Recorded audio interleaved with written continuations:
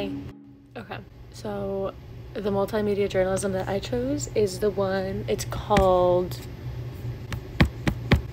it's called What Music Do Americans Love the Most? Um, and then it has, it says 50 detailed maps, fan maps, and each, it just shows a bunch of, it shows 50 artists from the like Billboard Top 100 chart, um, and then it used, it's called, what is it, geo coded streaming data from YouTube um, and it came up with these maps um, of which artists are listened to like most in the country. So like, hold on.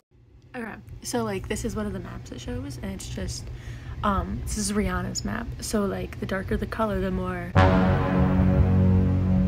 the more popular that artist is in that region. So like Rihanna is very popular in the south and then going up the east coast. Um, but she's not very popular in Idaho and Montana, as you can see.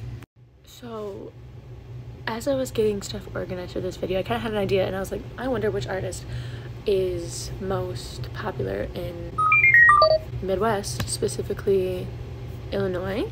So I went to one second. So as I was scrolling and I was looking, the only artist that really stuck out to me for like being like the most like colored in kind of in the Midwest was Post Malone. So here is Post Malone's map. You can kind of see how Illinois is like there's some really dark parts of it, like the, the dark purple.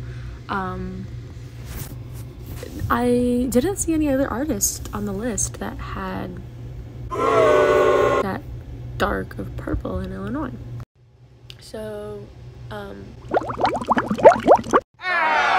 so the author, um, there was one of the maps. I don't remember which artist it was for, but it was like he was very popular in his hometown, and a lot of the um, artists had like that in common where they were very popular in the town or the region that they originated from, but maybe not so much other regions, if that makes sense. Um, so yeah, there's that.